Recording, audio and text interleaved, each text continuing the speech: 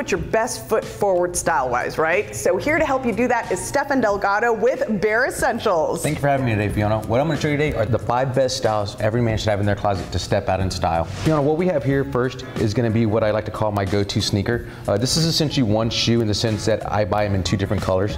You can never go wrong with a white sneaker. Uh, I like to have a navy one for days that I go out that I tend might get a little bit dirty. Uh, these sneakers are great because they're comfortable, but they're also affordable. These two shoes here are each under $70 um, and are a great sneaker to have in your arsenal. Uh, as we move over here, this is what I call your traditional chukka shoe. Uh, another, a great little shoe. Um, I've always talked about mixing blacks with browns. For that gentleman who's not quite comfortable with that mix yet, this is a nice approach to it because it's a dark, dark brown where it kind of can go in towards that black look as well too. So again, just a great chukka, a great little boot to wear on an everyday use. You can wear this with chinos or jeans. This is honestly the only black shoe that I have in my arsenal and it's a shoe that goes with my suits or my tuxedo. Um, again, these are shoes that I've had for 13 years. Uh, the thing you'll notice as you spend money on shoes, you take care of them, they can last you for years. I've had these shoes resoled a couple of times, and if you notice, all my shoes have shoe horns in them. Mm -hmm. This helps take the, the perspiration and the moisture out of your shoes to make them last longer. So again, the only black shoe I have in my closet is for my suits and my tuxedo look. This is my Oxford look.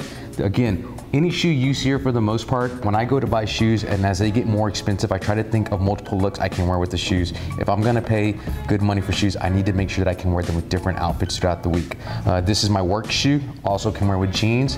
Uh, again, you go with that dark brown look so you can wear with black as well as navy blue or gray. Uh, just a good shoe to have in your closet. Come down here, this is my monk strap shoe. It's nice, clean, sleek. This is probably the shoe that I get the most compliments on just because it's just a great look. It's yeah. different. Um, again, multiple looks, jeans, chinos, slacks, whatever you like to wear with it. I like to wear pants are a little bit higher up so you can see the whole shoe and get the whole approach of it. And then this is what I call the bonus shoe. I think if you live in Texas, you have to have boots, right? Yes, um, you do. this is my approach to a boot. It's more of a modern approach. Uh, my wife and I go back and forth. She doesn't. She says they're not cowboy Western boots. I say they are Western boots. Has a nice little zipper approach to give it a modern feel to it. Again, you know, got the nice heel for that for that cowboy look to it. But more importantly, color of them. The color is what I really like because I can wear this with any color jean. I wear these for work with chinos.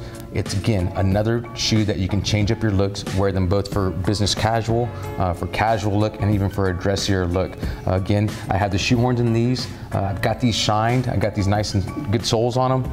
These things are my most expensive shoes. They're the most comfortable shoes and they will last you forever. And a boot is a shoe that only gets better with age. You know, with shoes, remember, they're an investment.